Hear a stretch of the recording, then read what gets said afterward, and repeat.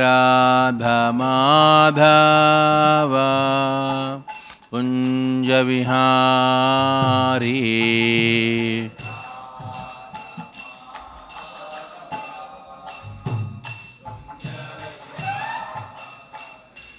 जय गोपीजनवल्लभा गिरिवरधारी।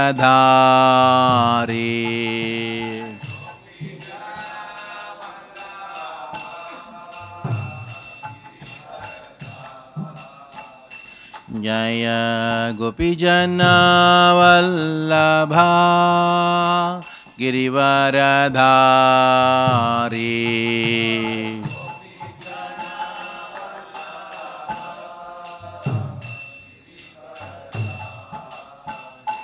जय राधमाधव कुञ्जविहारी।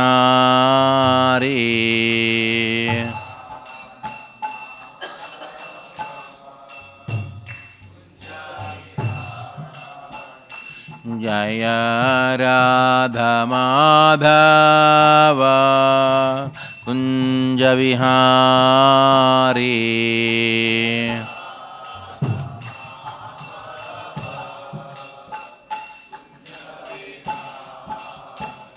जय गोपीजनवल्लभा। गिरिवरधारी।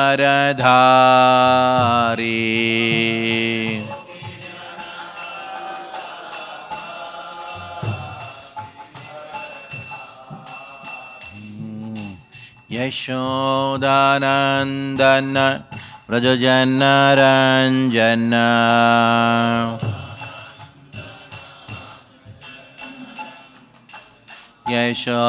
यशोदानन्दन व्रजजनरञ्जन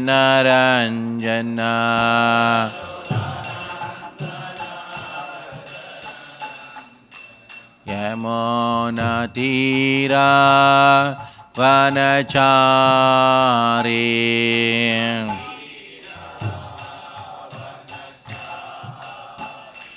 यमुनतीरा वनचारी।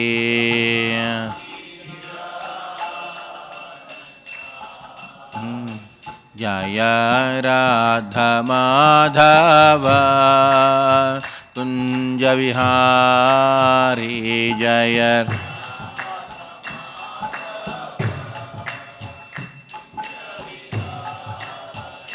जय Radha Madhav Kunjavihari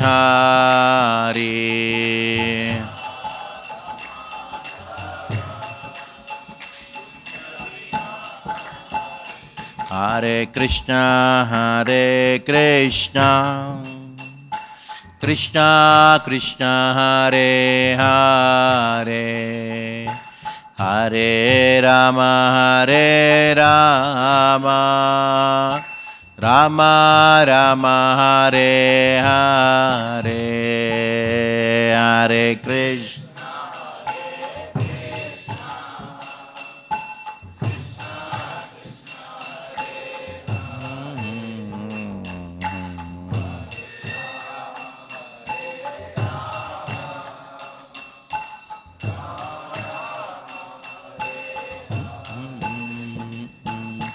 Hare Krishna, Hare Krishna, Krishna Krishna, Hare Hare, Hare Rama, Hare Rama, Rama Rama, Hare Hare.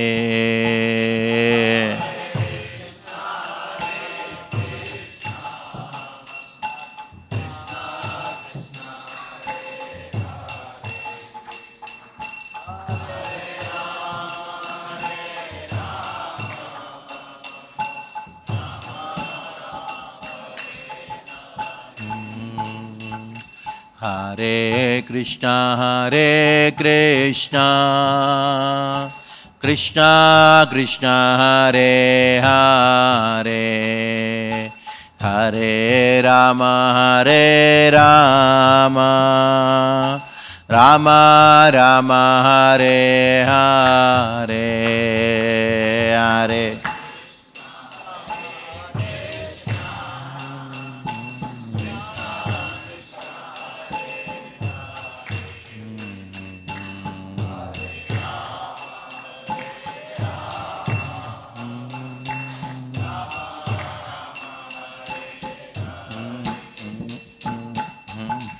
Krishna, Hare Krishna, Krishna Krishna, Hare Hare, Hare Ram, Hare Ram, Ram Ram, Hare Hare.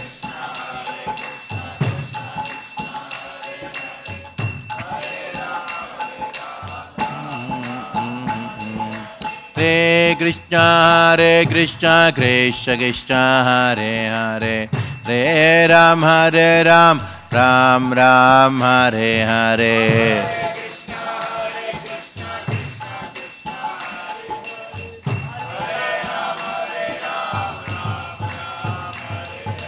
Hare Krishna, Hare Krishna, Krishna Krishna, Hare Hare, Hare Ram, Hare Ram, Ram Ram, Hare Hare.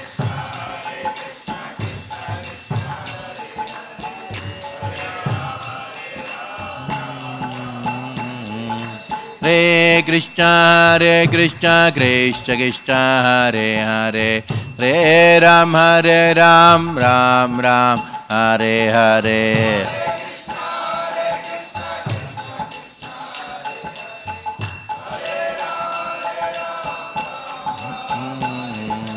हरे कृष्ण हरे कृष्ण कृष्ण कृष्ण, हरे हरे। हरे राम हरे राम राम राम हरे हरे हरे कृष्ण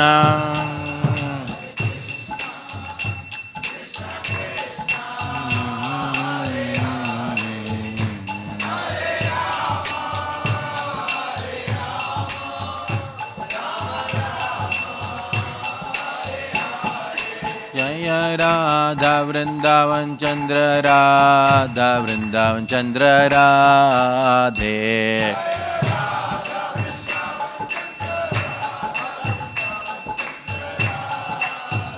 हम्म, जय जगन्नाथ जय जगन्नाथ जय बालदेवा जय सुभद्रा।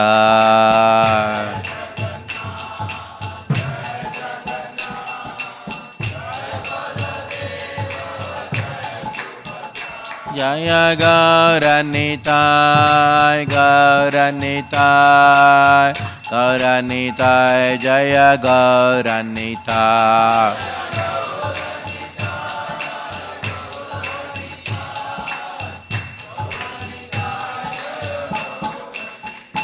निताय गौर हरि बोल हरि बोल। हरि बोल हरि बोल निताय गौर।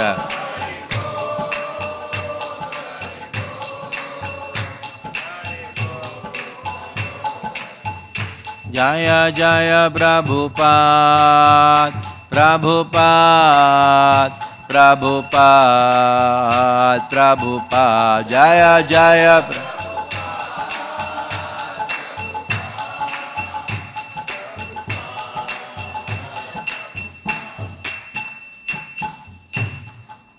शिल प्रभुपाद की जय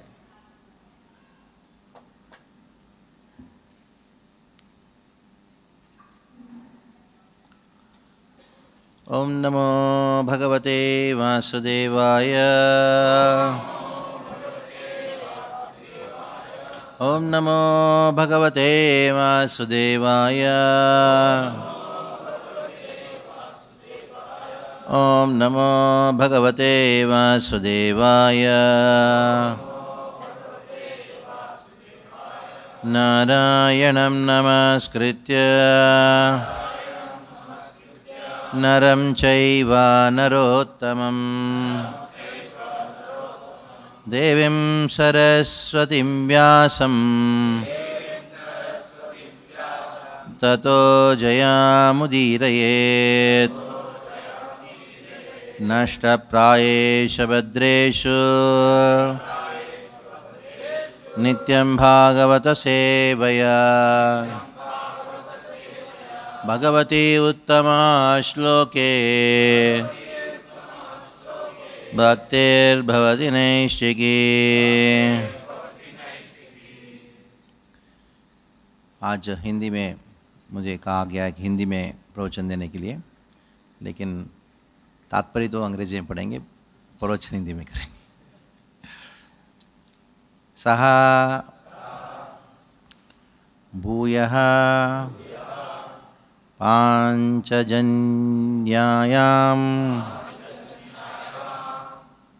अजेन परिशान्त्वितः पुत्राम् अजनयत् दक्षः। सबलाशवां सह सहर्षिणः। स भूय पाञ्चजन्याया स भूय पाञ्चजन्याया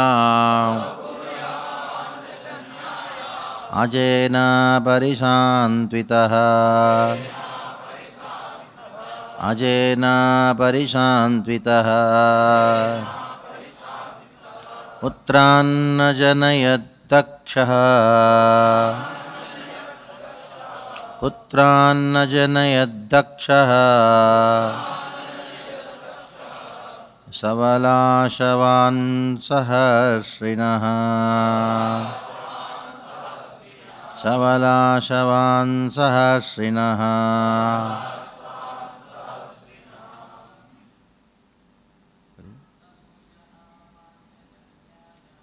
स भूय पाञ्चजन्यायाम्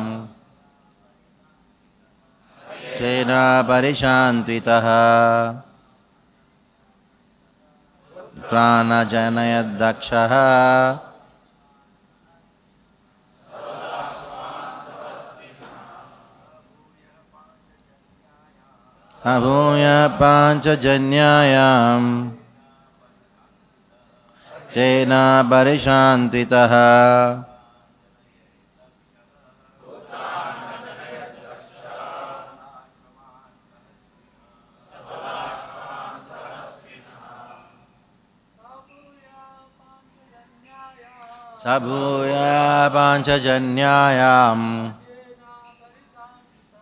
अजेन परिशान्तितः। प्राणानजदक्षः अस्मान् सहस्रिणः। माताजी।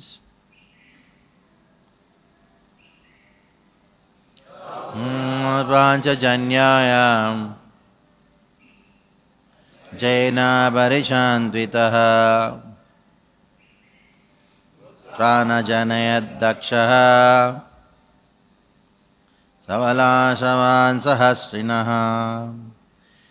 शब्दार्थ इस प्रकार है सह प्रजापति दक्ष भूय अगेन पांचजन्यायाम womb of his wife Akshini, sorry, womb of his wife Asikni और पांचजनी। अजेना बाय लॉर्ड ब्रह्मा परिशांतविता बीइंग पैसिफाइड पुत्रान सन्स अजनयत बिगाट दक्ष, प्रजापति दक्ष सबलाशवान्न named the Savalashavas, Sahasrinaha, numbering 1000. Translation purport by His Divine Grace A.C. Bhaktivedanta Swami Srila Prabhupada. Srila Prabhupada ki jai. When Prajapati Daksha was lamenting for his lost children, Lord Brahma pacified him with instructions. And therefore Daksha begot 1000 more children in the womb of his wife, Panchajani. This time his sons were known as Shavala Shavas. Purport Prajapati Daksha was so named because he was expert in begetting children. The word Daksha means expert. First, he begot 10,000 children in the womb of his wife, and when the children were lost, when they returned home back to Godhead, he begot another set of children known as Shavalashavas. Prajapati Daksha is very expert in begetting children, and Narada Muni is very expert in delivering all of the conditioned souls back home, back to Godhead. Therefore, the materialistic experts do not agree with the spiritual experts, with spiritual expert Narad Muni. But this does not mean that Narad Muni will give up his engagement of chanting the Hare Krishna mantra. ओम ज्ञानविरान्दस्य ज्ञानाञ्जनशलाकया चक्षुरोन्मिलितं येन तस्मै श्रीगुरवे नमः श्रीचैतन्यमनोभीष्टं स्थापितं येन भूतले स्वयं रूपकदा मह्यं ददाति स्वपदान्तिकं वन्देऽहं श्रीगुरो श्रीयुतापदकमलं श्रीगुरुन्वैष्णवांश्च श्रीरूपं साग्रजातं सहगणरघुनाथान्वितं तं सजीवं। साद्वैतं सावधूतं परिजनसहितं कृष्णचैतन्यदेवं। श्रीराधाकृष्णपादान् समितां विशाखान्वितांश्च हे कृष्णकरुणा सिन्धो दीनबन्धो जगत्पते। गोपेश गोपिका कान्त राधा कान्त नमोऽस्तु ते। तप्तकाञ्चन औरङ्गी राधे वृन्दावनेश्वरि। वृषभानुसुते देवी प्रणमामि हरिप्रिय वाञ्छाकल्पतरुभ्यश्च कृपा सिन्धुभ्य एव च। पतितानां पावनेभ्यो वैष्णवेभ्यो नमो नमः। जय श्रीकृष्ण चैतन्य प्रभुनित्यानन्द। श्री अद्वैत गधाधर शिवासादि गौरभक्तवृंद हरे कृष्णा हरे कृष्णा कृष्णा कृष्णा, हरे हरे। हरे राम हरे राम राम राम, हरे हरे। हरे कृष्णा हरे कृष्णा कृष्णा कृष्णा हरे हरे। हरे राम हरे राम राम राम हरे हरे। हरे कृष्णा हरे कृष्णा कृष्णा कृष्णा हरे हरे। हरे राम हरे राम राम राम हरे हरे। प्रजापति दक्ष के विषय में आप चौथे स्कंद से सुनना प्रारंभ किए। प्रजापति दक्ष के विषय में क्यों कहना पड़ा? क्योंकि तीसरे स्कंद में कपिल देवती संवाद में कपिल देव अपनी माता देवती को कहते हैं, चार प्रकार के भक्ति हैं। तमोगुण में रहने वाला जो भक्ति करता है वो तामसिक भक्ति है।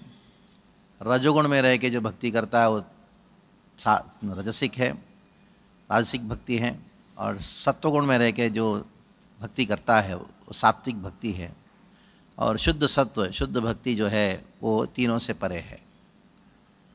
अभी चौथे स्कंद में इस बात को वर्णन करने के बाद, वही चौ तीसरे स्कंद में वर्णन करने के बाद, चौथे स्कंद में चार लीलाओं का वर्णन आता है। तामसिक भक्ति के लिए उदाहरण दिया गया दक्ष का, राजसिक भक्ति का उदाहरण के रूप में ध्रुव महाराज का और सात्विक भक्ति के उदाहरण के रूप में पृथु महाराज का, शुद्ध भक्ति का उदाहरण के लिए प्रचेताओं का वर्णन हमको चार चौथे स्कंद में चार लीलाएँ प्राप्त होती हैं। अभी वैसे भक्ति ना राजसिक होता है, ना तामसिक होता है, ना सात्विक होता है। भक्ति दिव्य है, भक्ति शुद्ध है, शुद्ध सत्व में है। लेकिन जो भक्ति करने वाला है उसके गुणों के आधार पे उसको कहा गया है। तामसिक भक्ति कहा गया, राजसिक भक्ति कहा गया है। जैसे जैसे गुणों के अनुसार भक्ति करता है, वो भक्ति करने वाले के मानसिकता के आधार पे इन भक्ति का नाम अलग अलग है। जैसे एक उदाहरण बताऊँ कि हम कहते हैं कि नाम अपराध है। क्या नाम में अपराध है क्या? लेकिन ऐसा लगता है कि नाम अपराध ये नाम अपराध कर रहा है। नहीं, ये अपराधी हैं और नाम जप कर रहा है, वो है। करने वाले के अपराध की वजह से उसको नाम अपराध कहा गया है। अपराधी व्यक्ति के मुख से उत्पन्न हुआ नाम उसको नाम अपराध कहा गया। नाम हमेशा दिव्य होता है। वैसे ही भक्ति जो है हमेशा दिव्य रहता है, लेकिन करने वालों की जो प्रवृत्ति है, भक्ति कर रहा है, लेकिन ईर्षालु है, द्वेषी है डंब है, क्रोध है तो ये असूया है, ये सब तामसिक है, दक्ष ऐसी तामसिक व्यक्ति था। तो चौथे स्कंद में उनका वर्णन आता है, क्या हुआ दक्ष का? इतना भयानक अपराध किया शिवजी के प्रति। क्योंकि शिवजी हमेशा भगवान की मन स्मरण में तल्लीन है, बैठे हुए हैं सभा में। दक्ष आए तो सभी लोग खड़े हो गए, लेकिन शिवजी खड़े नहीं हुए। खड़े होने की आवश्यकता नहीं हो तो शिवजी तो है। लेकिन दक्ष ने सोचा, ये मेरा दामाद है, मेरा जूनियर है। मैं सीनियर डिवोटी हूँ, जूनियर डिवोटी है। मैं गया तो खड़ा नहीं हुआ। हाँ, क्या है? तो बहुत क्रोधित इतना क्रोध पूछो मत। उस क्रोध में शिवजी का निंदा करना प्रारंभ किया। शिवजी चुपचाप चले गए। शिवजी ने सोचा कि ये ये सभा में नहीं रहनी चाहिए। तो बाद में धुमाधाम आप जानते हो क्या क्या हंगामा हुआ। तो दक्ष यज्ञ जब कोई कहीं कहीं होता है ना जब कोई भक्त लोग कहीं कुछ अनबन होता है कोई झगड़ा वगड़ा कर लेते हैं हम उसको दे दक्ष यज्ञ चल रहा है क्या? ऐसा बोलते हैं। शाप प्रतिशाप। ऐसा हो ऐसा हो सब चल रहा है। दक्ष यज्ञ यज्ञ में चल रहा है सब। कहीं और होता तो और खेल के मैदान में हुआ या कहीं और पॉलिटिक्स में हुआ कहीं पार्लियामेंट में होते चलेगा। लेकिन यज्ञ में ये सब। हम्म, तो ये भी एक लीला है भगवान का। धुआंधाम ये सब कहाँ हुआ? हरिद्वार में हुआ। दक्षेश्वर मंदिर है उधर शिव जी का मंदिर है उधर। गंगा के तट पे ही है उधर सती का कुंड भी है सब कुछ है। तो आप जानते हो इतना अपराध करने शिव जी चुपचाप चले गए तो इधर हंगामा हो गया तो हाँ अभी आ, वापस ब्रह्मा जी आए दक्ष, दक्ष के पास। तो क्या हुआ? अपराध किया था। अपराध का फल क्या मालूम है? बुरा मत मानिएगा, लेकिन सत्य बात है। ब्रह्मा जी ने प्रजापति दक्ष था, दक्ष प्रजापति था। जैसे अपराध किया, अगले अध्याय में ब्रह्मा जी प्रकट होते हैं। प्रकट होकर दक्ष को कहा, अभी मैं तुमको प्रमोशन देता हूँ, पोस्ट देता हूँ तुमको। चीफ प्रजापति बन जाओ तुम। प्रजापतियों का आप अध्यक्ष बन जाओ। ये अपराध का परिणाम होता है। क्या है वो? पोस्ट पोस्ट और पोजीशन अपराध का परिणाम है। पोस्ट और पोजीशन की इच्छा जो है अपराध का परिणाम है। हाँ। तो दक्ष प्रजापति और अहंकार बढ़ गया। तो उन्होंने कहा, ऐसा बहुत बड़ा यज्ञ करना प्रारंभ किया। इतना बड़ा यज्ञ पूछो मत। शिव जी को निमंत्रण ही नहीं दिया। तो आपको स्टोरी सब मालूम है। तो उस समय सती आई, बहुत क्रोध किया क्योंकि किसी ने नहीं पूछा। दक्ष प्रजापति को देखा तक नहीं, क्योंकि उनका संबंध शिवजी से, पुत्री को ही भूल गया। देखो, भौतिकवादियों का आसक्ति जो है, वो जहर है, आसक्ति जहर है। अगर कोई आपसे प्रेम करता है, अगर वो भक्त नहीं है, वो प्रेम नहीं, वो जहर है। प्रेम इसलिए कर रहा है क्योंकि उनको आपसे आशा है कुछ सुख मिलेगा मेरी बात मानेगा मेरा यश का कारण बनेगा। तो वास्तविकता में प्रेम प्रेम नहीं है। अगर कोई कहता है कि तुम मेरे हो हम्म, तुम बोले तुम मेरे मामा हो मेरे चाचा हो मेरे भांजा हो मेरे पुत्र हो मेरे ये हो मेरे ये हो वास्तविकता में कोई संबंध मायने नहीं रखता। कोई व्यक्ति आपको इसलिए कहता है कि तुम मेरे हो, क्योंकि वास्तविकता में उनके मन में क्या मालूम है? तुम मेरे काम के हो। तुम मेरे काम के हो। इसलिए मैं कहता हूँ तुम मेरे हो। बाकी सब संबंध, ऐसे संबंध है नहीं। तीन ही प्रकार का संबंध है। तुम मुझे सुख देते हो, तुम मेरे हो। अगर दुख देते हो, तुम मेरे दुश्मन हो। अगर तुम मुझे ना सुख दोगे, ना दुख दो तुमसे कुछ लेना देना नहीं है। संसार में केवल तीन ही संबंध है। मामा, काका, चाचा बांजा सब सब एक कोई, सब कोई मतलब नहीं रखता। दक्ष देखो, इतना बड़ा पुत्री। इतना प्रेम था पुत्री के साथ में। लेकिन खाली वो पुत्री का विवाह शिवजी से हुआ। बेचारी शिवजी का बात टुकरा के पिता के यज्ञ में भाग लेने के लिए आई। कम से कम स्वागत तो करना चाहिए, बेटी आओ बैठो, ठीक है?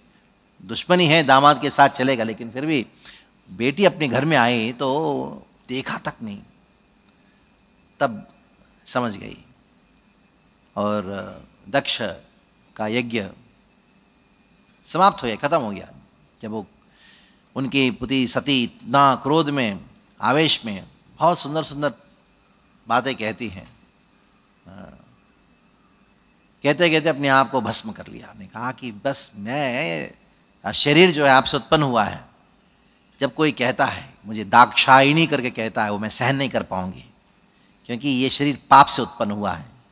पापात्मा पाप संभव आप पापात्मा हो, ये पाप से संभव हुआ है शरीर। हाँ। तो इसलिए शरीर को लेके करूँगी क्या? भस्म कर लिया। अपने ही क्रोध आवेश में सहन नहीं कर पा रही थी शिव जी के प्रति अपराध हुआ करके। तो शिव जी क्रोधित हो गए, सब स्टोरी तो आपको जानते ही हैं। तो अंततः क्या हुआ? दक्ष भैरव ने उनको मार दिया। वीरभद्र ने मार दिया उनको।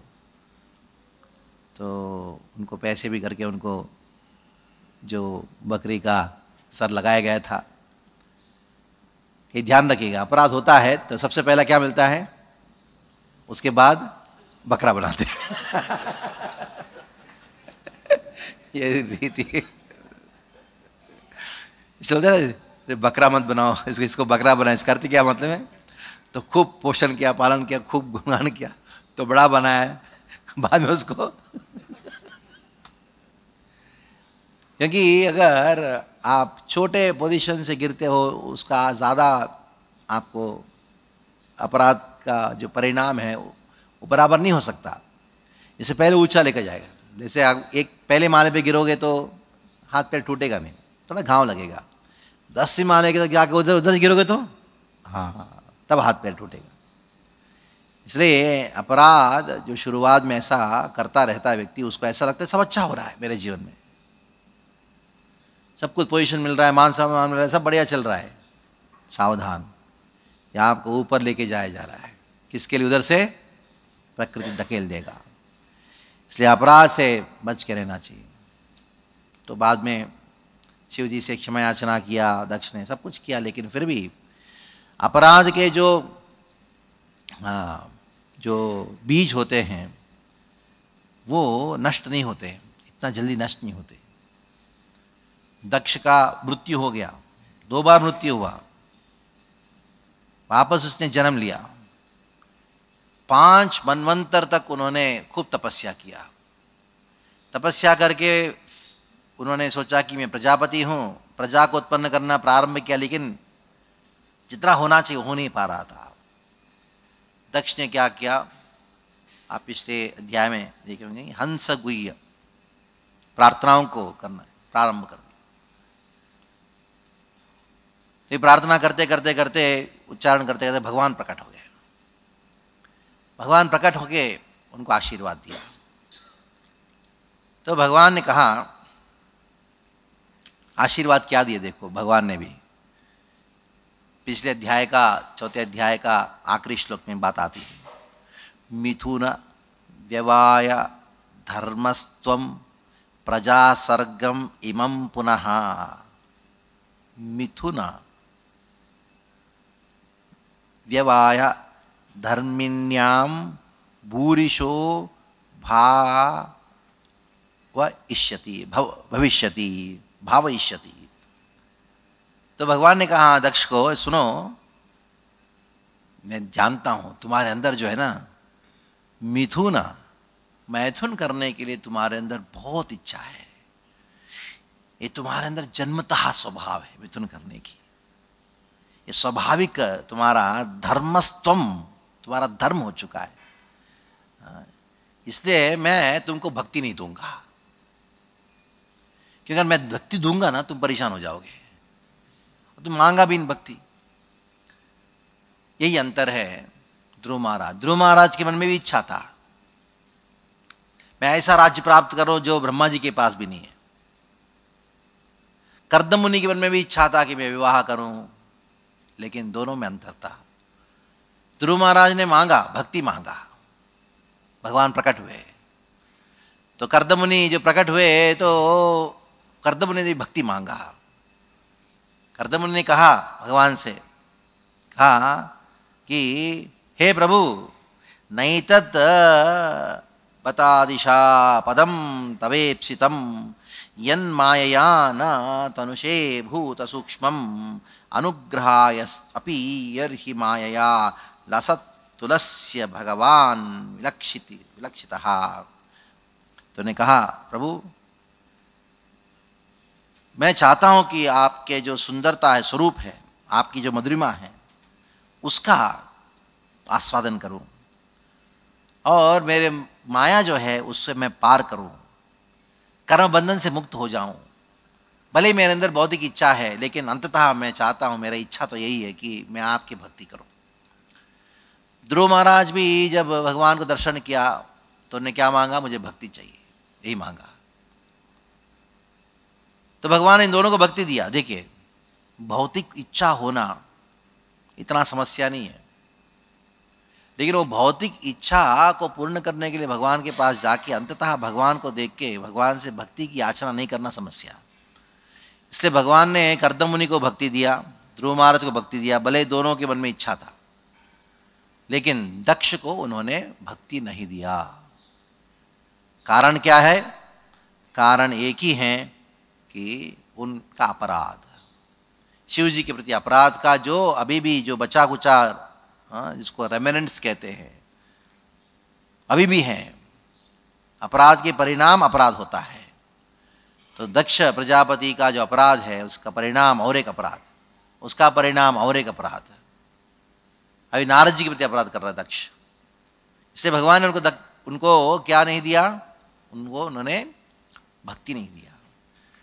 तो इसलिए भगवान कहते हैं हे दक्ष सुनो देखो हम्म, तुम्हारा मिथुन व्यवाया धर्मस्वम तुम्हारा धर्म हो चुका है। मैं मैथुनी मिथुन करना जो है वो आप तुम्हारा धर्म हो चुका है।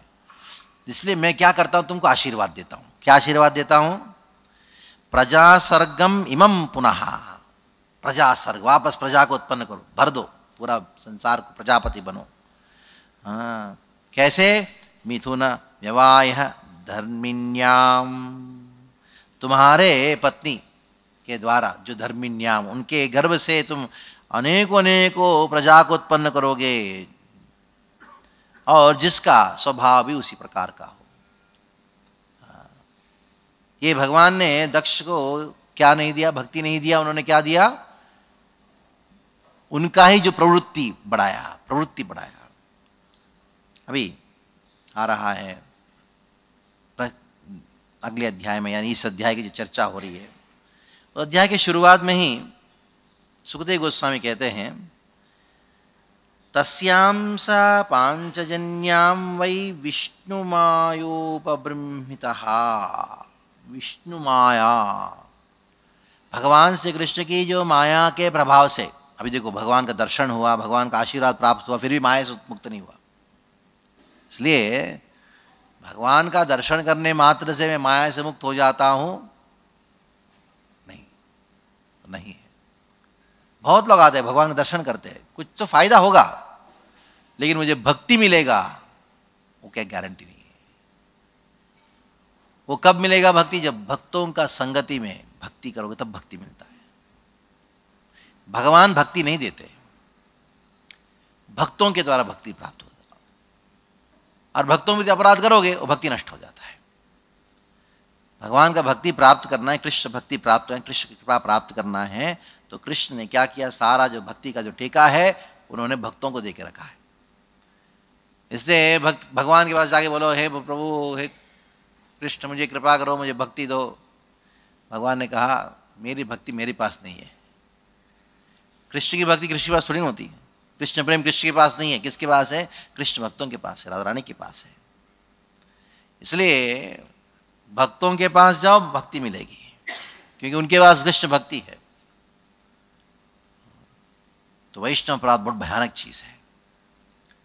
आपा राधा राधा करते प्रेम, कृष्ण प्रेम, आपा मतलब प्राप्त नहीं होना। वो कार्य जिसके द्वारा कृष्ण प्रेम को प्राप्त करने में रुकावट पहुँचता उसका अपराध कहा गया। वो भी जितना महान वैष्णव होगा, उतना बड़ा अपराध। वैष्णवता के अनुसार अपराध माना जाता है। तो दक्ष प्रतापति जो है, भगवान का दर्शन किया, भगवान को प्रसन्न किया, प्रार्थना किया, भगवान प्रकट हुए, सब कुछ किया, लेकिन भगवान ने भक्ति नहीं दिया और साथ साथ में माया में और डुबा दिया। कृष्ण दक्ष को और माया में डुबाया। तो इससे कहा गया, विष्णु माया, विष्णु मायोपब्रह्मित विष्णु माया के द्वारा प्रभावित होके दक्ष ने दस हज़ार पुत्रों को उत्पन्न किया और दस हज़ार पुत्रों का क्या स्थिति हुआ, हमने पिछले श्लोकों में से हमने चर्चा किया। अभी देखिए, क्या होगा? दक्ष का। वापस उनने क्रोधित, क्रोध क्रोध किए, जिसका वर्णन हमने परसों के क्लास में चर्चा किया। बहुत क्रोध किए। क्रोध ऐसे प्रकार का था नाशम निशम्य पुत्राणाम परसु का श्लोक है नारदाशीलशाली नाम हम्म, अनवत्यप्त कहा शोचम। इतना दुखी हो गया इतना दुखी हो पूछो मच जैसे अगर एक पुत्र भी अगर इस कान में ब्रह्मचारी रूप में आ जाता है माता पिता का क्या लौत होती है? दक्ष का दस हज़ार पुत्र थे। दस हज़ार के एक भी नहीं छोड़ा। एक एक कोई छोड़ देते, चलो शांत कर एक दस के दस हज़ार पूरा। मान लो किसी का पाँच दस रुपए खो जाता है तो दुख लगता है लेकिन वो दुख इतना ज़्यादा अगर पाँच लाख, पाँच करोड़ चले जाता है तो बहुत दुख लगता है। जब कोई चीज़ नष्ट होता है, खास करके पुत्र नष्ट होते हैं, या पुत्र चले जाते हैं माता पिता को बहुत दुख लगता है। क्योंकि जीते जी माता पिता चाहते हैं कि हम पुत्रों को सुखी देखें, बाद में अपना प्राण त्याग करेंगे। लेकिन सामने सामने पुत्र का एक प्रकार का मृत्यु ही है। कुछ लोग सोचते अरे, ये तो भक्त बन गया, मृत्यु क्यों हुआ? भौतिक जगत में लोगों को इसी प्रकार का भावना है, अगर कोई भक्त बनता, वो मर गया। कभी कभी कुछ ब्रह्मचारी जब आते हैं, इस्कॉन में ज्वाइन कर लेते हैं, उनके पिता कहते हैं, क्या बोले? अरे, तुम मर जाता तो अच्छा था। अगर किसी का पुत्र साधु बन जाता है तो माता पिता को खास करके पिता को ऐसा लगता है कि ये मर जाता तो अच्छा था। क्योंकि मैं समाज में बोल सकता हूँ ना। क्या बोल सकता हूँ? हाँ मैं मर गया, थोड़ा चौका शांत करेंगे। अगर मैं बोलूँगा समाज में, सब लोग बोलेंगे, अरे आपका पुत्र साधु बन गया, साधु बन गया। तो हर पल मरना पड़ता है। क्योंकि वैसे लोगों को अच्छा लगता है, किसी को दोस्त ऐसे, उसी को हम बोलते मित्र, मेरे मित्र है, समाज। जिसको हम बोलते ना समाज, किसके लिए बैठा वाला समाज?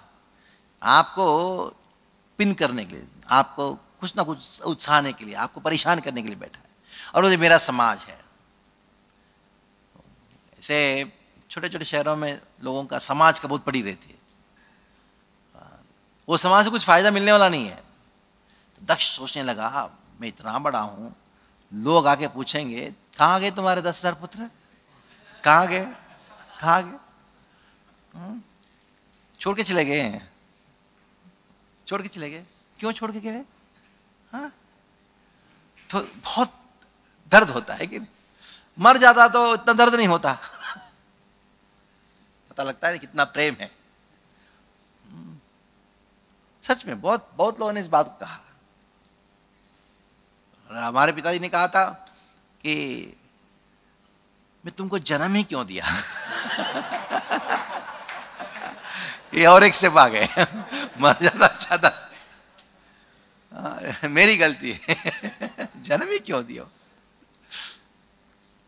बहुत ये है। तो एक साथ दस हज़ार गए तो कितना दुख होता होगा? हाँ। सुप्रजस्तम चाम खास करके बड़े अच्छे पुत्र थे। अगर मान लो कोई दुष्ट है, कोई काम का नहीं है, वो चले जाता है तो इतना दुख नहीं लगता। अच्छा भक्त हाँ अच्छा पुत्र, एकदम विनय, सुशील, सभ्य हाँ बहुत बुद्धिमान आईआईटी किया है तो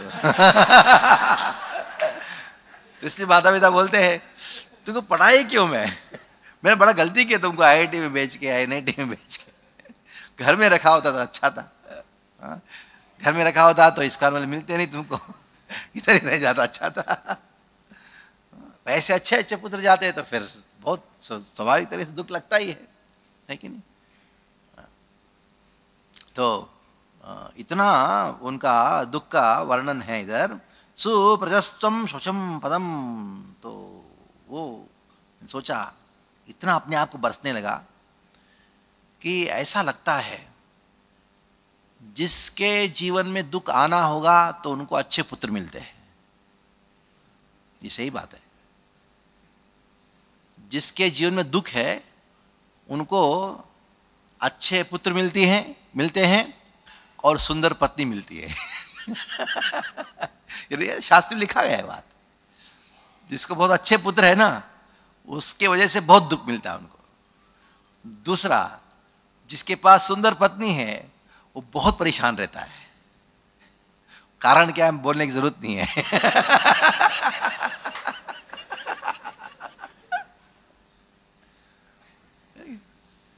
कब भाग जाएगी? कब चले जाएगी? कौन उठा के लेके जाएगा उसका? हाँ। अच्छे पुत्र हैं। तो वो परेशान कैसे? वो, वो कैसे परेशान करेगा आपको? क्योंकि आशाएँ बढ़ जाती है। स्वाभाविक है ना? मान लो कोई निकम है कोई काम करने ऐसे ही है इसको जाने दो। आशा ज़्यादा नहीं रहती अच्छा खासा है तो मेरा बच्चा जो है इतना बुद्धिमान है वो ये करेगा वो करेगा इतना कमाएगा मेरे लिए बहुत मतलब सपनों का कोई आ, कोई सीमा नहीं होती। इतना सपना देके बैठता है पिताजी पूछो मत। बेचारा वो पुत्र अच्छा है तो उनको अपना शांति से जीने देना उसको नहीं? मेरा बेटा जानते हैं, ये है, मेरा बेटा ये है, मेरा बेटा ये है, बहुत बहुत बोलेंगे। अभी ये करने वाले, हम तो अभी ये घर खरीदने वाले भी बस बहुत सपना देख लेता है। अब जैसे उसका एडमिशन हुआ नहीं, कोई अच्छे कॉलेज में, उसका सपना चालू। अभी पास नहीं हुआ, नौकरी नहीं मिला, पता नहीं मिलने वाला कि नहीं। कुछ नहीं, फिर भी वो सपना शुरू हो जाता है उनका, आशाएँ बढ़ जाती इसकी वजह से। इस संसार में अच्छा भी बुरा है अच्छा चीज़ प्राप्त करता, करना भी बुरा अच्छा पुत्र प्राप्त करना ही बुरा है। क्यों ऐसे अच्छे पुत्रों की आशा बढ़ती है? तो हर आशा तो पूर्ण नहीं होती है हर आशा जो है वो निराश में होता है, निराशा का कारण बनता है। और मूर्ख है, निकम्मा है तो अगर वो चले जाते तो कोई प्रॉब्लम नहीं। हाँ? एक बार ऐसा हुआ मेरे मंदिर में एक परिवार आया, मुझसे मिलना चाहते तो वो आए, मैं देखा, अच्छे खासे, मैं पूछा, आप कहाँ से? तो उन्होंने कहा, हम जू से हैं, हम जू वालों ने आपको नंबर दिया है, आप, आपसे मिलना है। क्यों? ने कहा कि प्रभु जी हमारा पुत्र है। तो अच्छा खासा पुत्र था, बुद्धिमान लग रहा था हट्टा कट्टा था। तो हम चाहते हैं कि वो हम आश्रम में रहेगा, आपका भजन साधन करेगा। मैं सोचा, ऐसा कभी आज तक हुआ नहीं।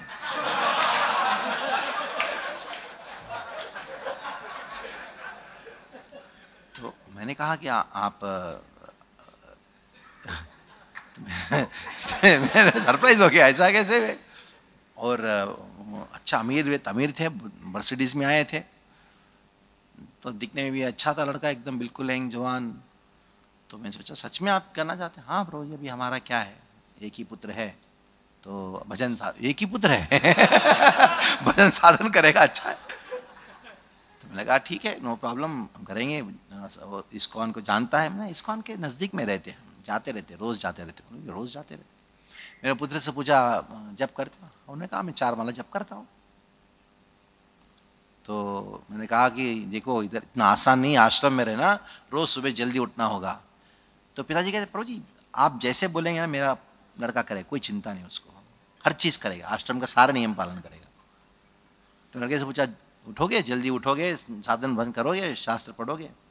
तो ने कहा बस चुपचाप रहा ऐसे ऐसे बोला। तो आ, मैंने कहा ठीक है अभी आप बताइए कब आना चाहते बस अभी अभी ले सकते हो। मैं सरप्राइज़ हो गया। तो मैंने ठीक है कोई प्रॉब्लम नहीं अभी ले लेंगे आप प्रसाद कर लीजिए। तो उनको माँ बोलने लगी तो जी जो भी उनका खर्चा होगा ना हम देंगे। उन्होंने कहा, आपको खर्चा देने की ज़रूरत नहीं, आश्रम देखभाल करेंगे, आपको जो भी डोनेशन देना है तो डोनेशन दे दो। लेकिन ऐसा नहीं कि आपने, आपका पुत्र नो, आप आश्रम ने कहा उनका खर्चा हम देंगे, ऐसा नहीं होगा। तो ये आश्रम है, सब समान, सब साथ में रहते हैं, सबको समान होता है। तो उन्होंने कहा कि, ठीक है, हम देंगे, लेकिन उनका तो कुछ दवाई का खर्चा होगा ना, वो हम दे देंगे आप। तो क्या दवाई? हम सामने भक्तिवंत हॉस्पिटल है, कोई चिंता मत करो तो सब ठीक हो जाएगा।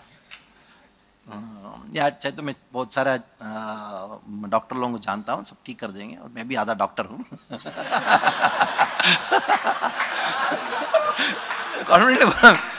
क्या क्या समस्या क्या?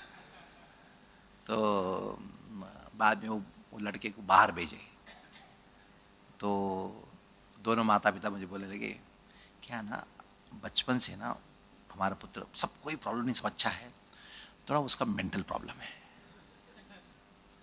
वो कम समझता है। समझता है तो कुछ हाँ हाँ बोलता है लेकिन कुछ और समझता है। मतलब दिखते तो ठीक ठाक है यही तो समस्या है। तो बाद में ऐसे में चुप रह गया। तो माँ कहती है हाँ, प्रभु जी ऐसा है ना मैं हमारा एक ही बेटा है ऐसा हमारे पता नहीं हमारा क्या कर्म है। हमने सोचा कि ये तो हमारा कोई काम का तो है नहीं। आश्रम में रहेगा भजन साधन करेगा तो। शौक हो गया।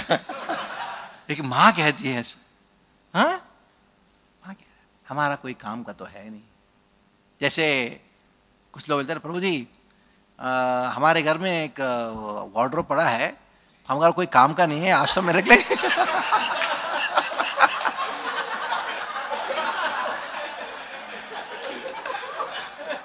मतलब कचरे का डब्बा है मंदिर। आपका कोई काम करे तो डाल दो।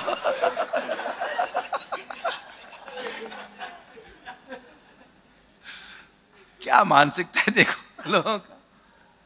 हाँ इसलिए, जो अच्छे पुत्र नहीं होते, उतना उतना दुख नहीं देते, लेकिन अच्छा पुत्र होता है। उसका कितने दस हज़ार अच्छे पुत्र थे, जो स्वयं दक्ष इस बात को कहता है हाँ, शीलशाली नाम वो जितने शीलता से सुंदर बुद्धि से संपन्न है ऐसे ऐसे लोगों को लेके दान चला गया। बहुत दुखी था उस समय ब्रह्मा जी आए। पहली बार जब अपराध किया था ब्रह्मा जी स्वयं आए थे आके दक्ष को कहा आज से तुम चीफ प्रजापति हो प्रेसिडेंट हो तुम। ब्रह्मा जी आए दक्ष को देखा रो रहा था। इसलिए कहा गया है इधर अचेन परेशान्विता Brahma ji best motivational speaker है. मोटिवेशनल आजकल पता नहीं, जितने भी जहाँ जहाँ जाता हूँ, सावन का ट्रेन में जब जाता हूँ को मुझे देखता है। प्रभु जी, आप आप मोटिवेशनल स्पीच करते हैं? पहले से नहीं था? जो कहते हरे कृष्णा से आप हरे कृष्णा से बोलते थे। अभी पता नहीं सबके मन में आ गया कि जो भी लाल पहना है वो मोटिवेशनल स्पीकर है।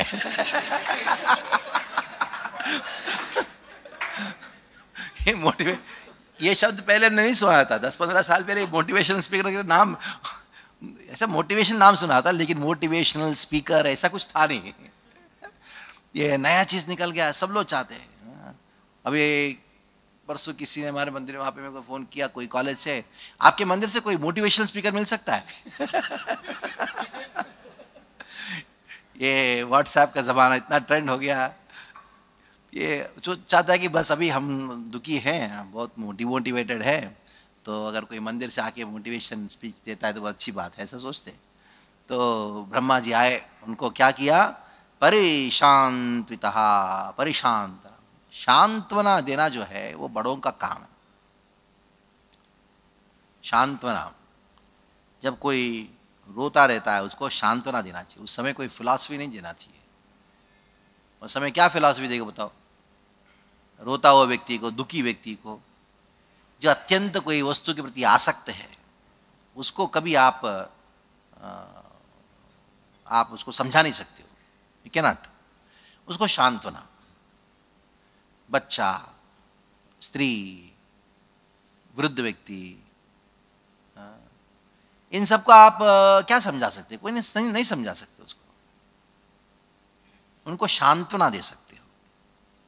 ये देव उधर देवती रोने लगी तो सांत्वना, कर्दमुनि ने सांत्वना दिया। हर जगह, भागवतम में हर जगह प्राप्त होता है। सांत्वना जो है, वो एक कला है। जिसको आजकल अंग्रेज़ी में काउंसलिंग कहते हैं काउंसलिंग। एक परिवार था पति पत्नी में झगड़ा था तो वो लोग उस, उन लोगों किसी ने कहा उनसे मिलो मिले मैंने पूछा क्या हो गया? ने कहा कि प्रभु जी हम दोनों के जो बहुत झगड़ा है। मैंने कि आप कितने साल साथ में रहते बोले दस साल से। दस साल से झगड़ा कर रहे हो? हाँ प्रभु जी। इसमें इसका अर्थ बहुत प्रेम है हम दोनों के बीच में। इतना झगड़ा होने के बाद साथ में रहते हो। है कि नहीं? नहीं प्रभु हम बहुत सारे काउंसलिंग के पास काउंसलर्स के पास गए लेकिन वो सब लोगों ने पैसा लिया एक घंटे का पाँच पाँच हज़ार लेते। हाँ, एक एक घंटे पाँच पाँच हज़ार लेते। मैंने कहा आपको कोई काउंसलिंग की ज़रूरत नहीं है। आप दोनों के बीच में प्रेम है। हम बहुत झगड़ा करते हैं। अरे, यही तो यही तो लक्षण है प्रेम का। आप चिंता मत करो, हो गया काउंसलिंग शांति से वो लोग। सब लूटने का धंधा है। काउंसलिंग के नाम पे। लूटपाट का धंधा, और कुछ नहीं। वास्तविकता में शांतवना ये बिना पैसे का करना चाहिए। दुखी है व्यक्ति, उसको शांतवना करना। चाहे वो कोई भी क्यों, दुष्ट भी क्यों ना हो। पहले शांत करो। ब्रह्मा जी, हमारे आचार्य है। हमारे परंपरा के आचार्य है। एक बार मैंने कहा, प्रभु जी, हमारे, ब्रह्मा जी जो हमारे आचार्य है। दीपक ने कहा, प्रभु जी, हमने कभी सुना नहीं ये बात। क्योंकि ब्रह्मा जी जो है ना, हमारे संप्रदाय का आचार्य है, लेकिन कभी हम सोचते भी नहीं कि उस आचार्य है। क्यों मालूम है? वो बेचारे बहुत मैनेजमेंट में रहते हैं।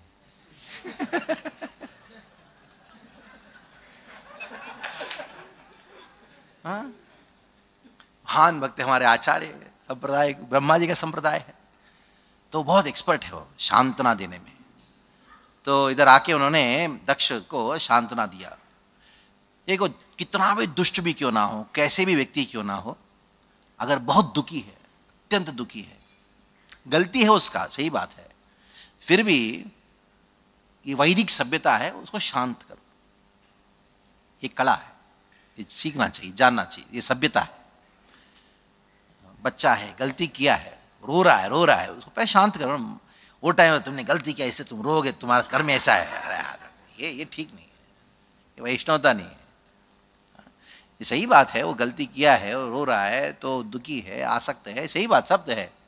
इसलिए शांतना देना एक ऐसी कड़ा है जो हमारे सम, हमारी सभ्यता में वैदिक सभ्यता में ये स्वाभाविक तरीके से लोगों में आ जाता था। स्वाभाविक तरीके से, उनको सिखाना ही नहीं पड़ता था कल्चर ही सिखाता था। वो वातावरण, वो जो सभ्यता, जो संस्कृति है, वही सिखा देता था। जैसे शांतना देना, एक कड़ा है, बड़ों का बड़ा ज़िम्मेदारी बनता है शांतना देना। तो अजय न परिशांतिता तो ने कहा, सबूय पाँच जन्यायाम क्या किया उन्होंने? पुत्रम अजनय दक्ष।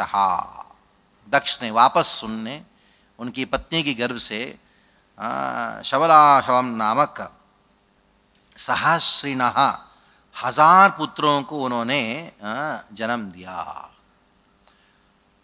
तो यही काम है पुत्रों की उत्पत्ति करना संसार को बढ़ाना संसार का जो बंधन है उसको बढ़ाना ये भौतिकवादियों का काम है और दूसरी ओर भक्तों का काम क्या है लोगों को संसार से उद्धार कल एक कॉलेज वो जो वॉइस का, आपका एक वॉइस है, उसके अंदर में प्रोग्राम देने गया था। तो पूरा भरत महाराज को जो शिक्षाएँ देते ऋषभ देव महत सेवाम और विमुक्ते, वो वाला श्लोक के ऊपर प्रवचन दिया, जिस प्रकार ये शरीर जो है, इसका दो उपयोग है। महत का सेवा करके मोक्ष का द्वार खोल खोल देते खोल देते साधुजन, महत जन भक्तजन वही कुंड जाना, भगवत धाम जाना। दूसरा यही शरीर से एक स्त्री का सेवा करके नरक में जाना। ये दो ही है। तो पूरा प्रवचन के बाद एक लड़के ने प्रश्न पूछा। तो ने कहा, प्रभु जी, अगर सब लोग साधु बन जाएँगे, वंश आगे कैसे बढ़ेगा? हाँ वंश कैसे आगे बढ़ेगा? मैंने कहा कि तू वंश आगे बढ़ाना चाहते हो? मैं कहा हाँ तो करो। लेकिन वंश को आगे बढ़ाने के लिए ही मैथुन करना है। कर पाओगे? तभी विवाह करना। नहीं तो जैसे थे जैसे है। रहो। ये हो पाएगा? बहुत मुश्किल है। हम्म, तो उसको लड़के कहा। लेकिन बहुत बहुत चिंता रहती लोगों को। आगे वंश आगे कैसे बढ़ेगा? पॉपुलेशन कैसे बढ़ेगा? भारत बढ़ गया ना चाइना को ओवरटेक कर लिया ना। आपने क्या प्रयास किया बोलो? बिना प्रयास का हुआ कि नहीं? न्यूज़ में आया है। यूएन हाँ। ने डिक्लेयर कर दिया, भारत जो है सबसे ज़्यादा पॉपुलेटेड कंट्री है। चाइना को ओवरटेक कर लिया है। बेचारे चाइना वाले जो है वो इतना स्ट्रिक्ट हो गए थे इतना पॉपुलेशन बढ़ा था उन्होंने कहा क्या एक से ज़्यादा होगा तो आपके जेल में डाल देंगे. तो भारत सरकार ने किया था दो ही अच्छे। हाँ, फिर भी ओवरटेक कर लिया देखो। तो कुछ चीज़ों को प्रयास करने की आवश्यकता नहीं पड़ती। ये अपने आप होता है। बिना प्रयास का होता है। इसे भागवत कहता है क्या कहता है? हाँ, तत्प्रयास हो कर्तव्य। हो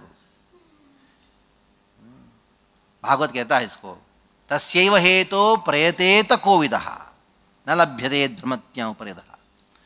सारा प्रयास जो है ऐसा स्थान को प्राप्त करने के लिए करना चाहिए जो ये चौदह भूमि उपलब्ध नहीं है। क्या है वो चीज़? अपवर्ग अपवर्ग वर्तमणी जन्म मृत्यु जरा व्याधि संसार में उपलब्ध है। भौतिक से संसार उपलब्ध है, अपने आप है। उसके लिए कुछ अलग से कुछ प्रयास करने की ज़रूरत नहीं पड़ती। नहीं, सर। क्यों? गीता में भगवान ने कहा, प्रकृतिर ज्ञानवान अपी ज्ञानी व्यक्ति भी जो है, प्रकृति के अनुसार ही कार्य करता है। उसको प्रयास करने की ज़रूरत नहीं पड़ती। इसलिए भौतिक जगत में भौतिक सुख को प्राप्त करने के लिए उसके लिए कोई प्रयास की आवश्यकता नहीं पड़ती। कोई मोटिवेशन की आवश्यकता नहीं पड़ती, अपने आप हो जाता है। क्यों? प्रकृति, प्रवृत्ति है। एक माता पिता ने कहा, प्रभु जी, हमारे बच्चे को थोड़ा मोटिवेशन कीजिए, उसको पढ़ाई करें। मैंने कहा, आप कितना भी मोटिवेट करो, उसके प्रकृति के विरुद्ध है तो वो कार्य नहीं करेगा। और उसको पूछो, क्या करना चाहते हो? उसको बोलो, करो। तो अपने आप करेगा, कितना भी कष्ट हो करेगा। वो कष्ट उसकी प्रकृति के अनुसार जो का, कार्य करेगा उसके अंदर जो कष्ट आता है उस कष्ट को कष्ट को अनुभव कष्ट के रूप में अनुभव नहीं करेगा। क्यों? उसका प्रकृति के अनुसार है। प्रकृति के अनुसार व्यक्ति करेगा एक कार्यति अवशः कर्म सर्वकर्म प्रकृति जेर गुण। ही उनके प्रकृति गुणों के अनुसार करेगा ही। मान लो किसी का प्रकृति है गाना to sing is is nature वो कहीं भी वो गाएगा। मैक है नहीं है उसको कुछ फ़र्क नहीं पड़ता। बाथरूम में तो गाएगा। कहीं भी गाएगा हो। उसको बैन कर दो तुम गा नहीं सकता। फिर भी गाएगा हो क्योंकि उसका प्रकृति है। उस, उसको अच्छा लगता है। तो इस संसार में सब लोग प्रकृति के अनुसार ही करेंगे उसके लिए कोई प्रयास की आवश्यकता नहीं पड़ती है। मोटिवेशन की अगर कहीं आवश्यकता है तो केवल और केवल आध्यात्मिक कार्य के लिए आवश्यकता है प्रेरणा की आवश्यकता है, प्रयास की आवश्यकता है, दृढ़ता की आवश्यकता है, वो केवल आध्यात्मिक जीवन के लिए आवश्यकता है, क्योंकि वो प्रकृति के विरुद्ध है। इसलिए भौतिक क्षेत्र में जाके मोटिवेशन स्पीच देना कोई फ़ायदा नहीं। प्रभुपा जी मोटिवेट किए? किसके लिए मोटिवेट किए? सबको इस संसार के इंद्रिय भोग को त्याग करने के लिए मोटिवेट किए। इंद्रिय भोग करने के लिए मोटिवेट करने की क्या आवश्यकता है? पहले से ही लोग हैं, कर रहे हैं। सालों से करते, सालों से करते आ रहे और करते रहेंगे, और करते रहे, आपकी कोई आवश्यकता नहीं है। डोंट रिक्वायर तो प्रभुपाद इसी बात को कहते हैं। एक और भौतिक जगत में लोग कहते हैं कि हम होंगे कामयाब एक दिन पूरा है विश्वास। और दूसरी ओर जो भौतिकवादी आध्यात्मिकवादी हैं, नारद जैसे प्रचारक है, वो भी कहते हम होंगे काम यहाँ एक दिन। पूरा है विश्वास। बट दोनों का भाव अलग है। ये सोचेंगे, हम इंद्रिय वो करेंगे, हम हासिल करेंगे। और आध्यात्मिकवादी प्रचारक, नारद जैसे, वो क्या सोचते हम कामयाब होंगे, उनका सारा विश्वास जो है, किसके ऊपर? मुझे इस संसार में सुख मिलेगा, उस विश्वास को तोड़ने में। डिस्ट्रॉय ये साधु का काम है। साधु का अर्थ जो काटता है, जो नाश करता है।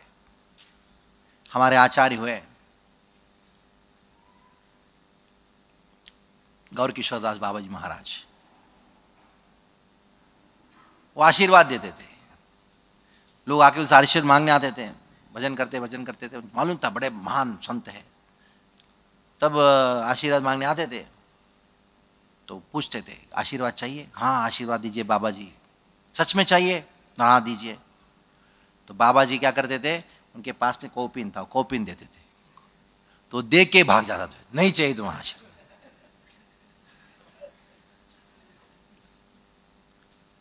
रघुनाथ दास गोस्वामी का मुलाकात हुआ, हरिदास ठाकुर के साथ। तो महान संत आए करके उनके माता पिता ने भेजा चलो मेरे पुत्र का आशीर्वाद मिल जाए। उधर गए, उनके उनके जो नौकर थे उनके साथ में। रघुनाथ दास गोस्वामी गए, प्रणाम किया। तो हरिदास ठाकुर ने आशीर्वाद दिया, सर्वनाश हो होवे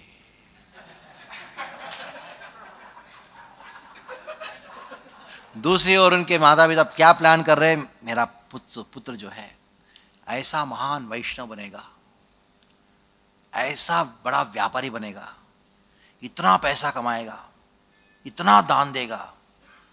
पूरा बंगाल में ऐसा एक भी व्यक्ति नहीं होना चाहिए जो भूखा जाए, खास करके वैष्णव, एक भी वैष्णव भूखा नहीं होना चाहिए। इधर ये प्लानिंग चल रहा है। हरिदास ठाकुर क्या प्लान कर रहे हैं? सर्वनाश हो गए। सुनने के लिए कड़वा लग सकता है, यही उद्देश्य है। उसका भौतिक संसार नाश हो जाए। Is material life be destroyed ये बहुत बड़ा एजेंडा है। हाँ। अगर सच में पता लगेगा ना भौतिकवादियों का हमारा एजेंडा क्या है, वो सोचेंगे, अरे, ये लोग रियल टेररिस्ट है।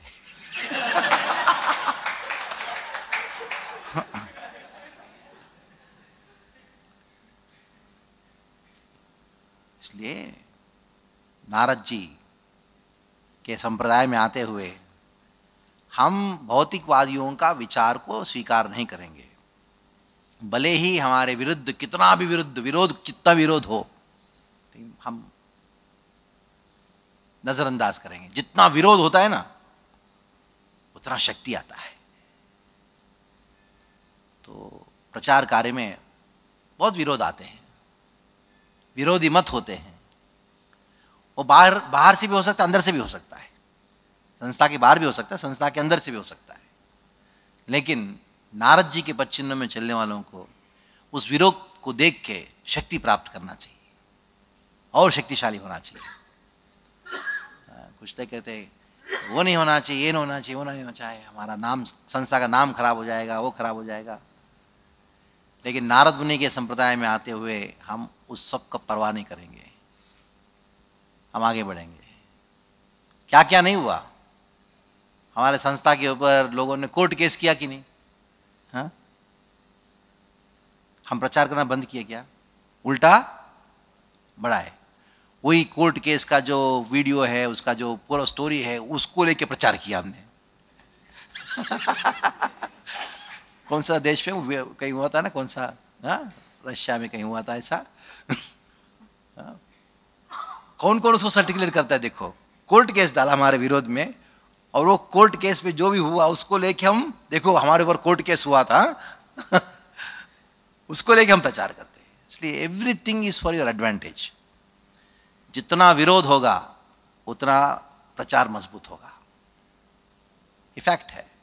इसलिए नारद जी के संप्रदाय में, परंपरा में आते हुए, जैसे दक्ष ने कहा, दस हज़ार को उत्पन्न किया तो अपने भक्त मैं और एक हज़ार करता हूँ। नारद जी सब बहुत अच्छा मुझे और है के हज़ार मिलने वाले दक्ष सोच रहा था कि इनको करके देखो। नारद जी ने कहा, बहुत अच्छी बात है।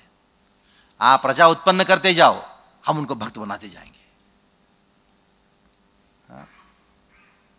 ये विचारधारा था नारद जी का। इसलिए चिंता करने की कोई ज़रूरत नहीं। विरोध कितना भी हो, वो विरोध हमारे फ़ायदे के लिए होगा। ये इस बात को ध्यान रखना चाहिए। तो समाप्त करें। कोई प्रश्न है तो पूछेगा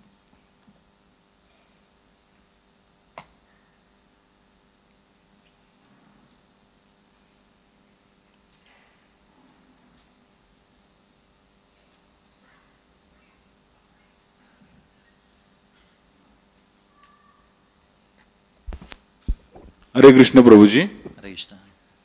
मेरे मन में दो सवाल है। मैं जानना चाहता हूँ आपसे कि शास्त्रों को सुनते सुनते हमने इस पढ़ा है या सुना है कि भगवान कृष्ण ने जिन जिन लोगों का वध किया है उन लोगों ने उससे पहले ब्रह्मा जी की भक्ति की थी या शिव जी की भक्ति की थी, उसके कारण उनको जो सब शक्तियाँ प्राप्त हुई थी। तो क्या कारण है कि कृष्ण भक्ति में और ब्रह्म भक्ति में और शिव भक्ति में क्या अंतर है, ये मैं जानना चाहता हूँ। क्या अंतर है? कृष्ण भक्ति में, ब्रह्मा जी के प्रति भक्ति में, शिव जी के प्रति भक्ति में अंतर क्या है? कृष्ण भक्ति में भगवान श्री कृष्ण केवल और केवल लोगों को उद्धार करते हैं। आशीर्वाद दे के उद्धार करते हैं मार के उद्धार करते हैं सबको उद्धार। जो भी कृष्ण से जुड़ गया किसी तरीके से। हम्म, जैसे कंस। गोप्य कामाद भयात कंसो द्वेश्येद्यादय बाद में क्या है? संबंधाद वृष्णय भक्तिया यूयम यूयम भक्तिया वयम विभु। तो इस श्लोक में कृष्ण से किसी तरीके से जुड़ गया। कंस जुड़ा था, कृष्ण से जुड़ा, कैसे जुड़ा था उसको? भया, भय से। शिशुपाल कृष्ण द्वेष किया था तो उसका उद्धार हो गया, मोक्ष मिल गया, मुक्ति मिल गया। तो ये न के न प्रकार मन कृष्ण में इसलिए किसी न किसी कृष्ण में ही लगाओ तुम्हारा मन को। लेकिन कृष्ण को बोल के किसी ने ब्रह्मा जी या मान लो शिव जी के बारे में बात करेंगे। ब्रह्मा जी का उपासना किया, या शिव जी का किया। शिव जी भी कृपा करते हैं, क्योंकि शिव जी परम वैष्णव है। लेकिन इनका कृपा दो प्रकार का होता है। एक है सकपट कृपा, एक है निष्कपट कृपा। और शिव जी के पास जाके एक सच्चे भक्त कहता है, शिव जी, मुझे सही मार्ग दिखाओ, मुझे मेरा अच्छा आशीर्वाद दो ताकि मेरा जीवन अच्छा हो जाए। तो शिव जी क्या करेंगे? उनका हाथ पकड़ कृष्ण के पास लेके आ जाएँगे। कृष्ण भक्ति देंगे। कृष्ण का, शिव जी का अगर पूजा करोगे, एक सच्चे हृदय के साथ में, शिव जी, मैं आपको मानता हूँ। आप जैसा बोलेंगे, मैं कैसा करूँगा। बिना निष्कपट भाव से शिव जी का पूजा करता है। शिव जी उनको कृष्ण भक्ति देंगे। हंड्रेड परसेंट फैक्ट है। बहुत भक्तों ने अनुभव किया जो पहले शिव जी के भक्त थे, लेकिन निष्कपट थे। लेकिन कपट भाव से शिव जी के पास जाता है। शिव जी भी उनको कृपा करेंगे। कौन सा कृपा करेंगे? सकपट कृपा करेंगे। क्या वो सकपट सब कपट कृपा? बाणासुर के साथ किया था। शिव जी ने खूब बहुत प्रसन्न किया। शिव जी को मालूम है बाणासुर मेरा पूजा किसके लिए कर रहा है? मेरे लिए नहीं कर रहा, मुझे प्रसन्न करने के लिए नहीं कर रहा है वो अपनी शक्ति बढ़ाने के लिए कर रहा है।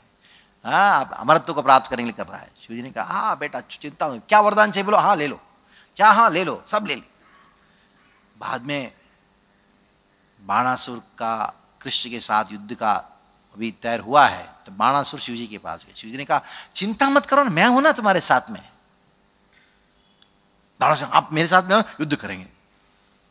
तो शिवजी बाणासुर के पक्ष से कृष्ण के साथ युद्ध किया। आप बोलोगे, शिवजी कृष्ण के महान भक्त है, क्यों युद्ध किया विरुद्ध में? क्योंकि कृष्ण का संकल्प क्या है? परित्राण साधु नाम। दुष्कृतियों का विनाश तब होगा जब युद्ध होगा। और बाणासुर कृष्ण युद्ध तभी करेंगे जब उनको, उनके साथ में शिवजी होगा। तो शिवजी का प्लान है। मैं बाणासुर के पक्ष युद्ध करूँगा, युद्ध होगा तो बाणासुर का मृत्यु होगा। ये शिव जी का कृपा है किसके ऊपर? लेकिन कौन सा कृपा है वो? सकपट कृपा। हाँ। वैसे रावण के साथ में भी सकपट कृपा किया तो शिव जी और ब्रह्मा जी जो है, वो सब कृपा करते हैं, खास करके दोनों, महान वैष्णव। वो कृपा जो है उनका दो प्रकार का है। लेकिन कृष्ण का कृपा कैसे भी हो, करेंगे, उद्धार ही करेंगे, उनके अलावा और कुछ जानते नहीं। कृष्ण दूसरों को, उनके साथ जुड़े हुए कोई भी व्यक्ति को या किसी न तरीके से जुड़ गया, क्रोध से हो, काम से हो, किसी न किसी से जुड़ गया, कृष्ण उनको उद्धार करने के अलावा और कोई चीज़ जानते नहीं, ये अंतर है। और कोई प्रश्न है? ठीक है, समाप्त करेंगे, टाइम हो गया। ग्रंथराज श्रीमद भागवतम की जय शील प्रभुपाद की जय।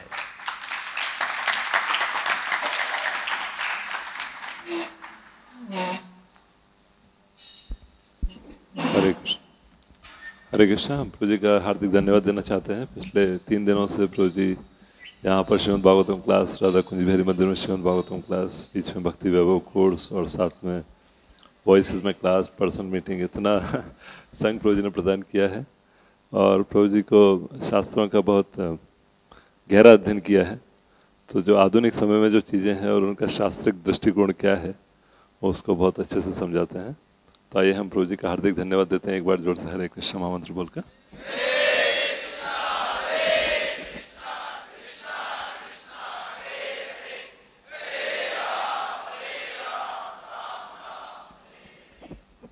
और एक अनाउंसमेंट है।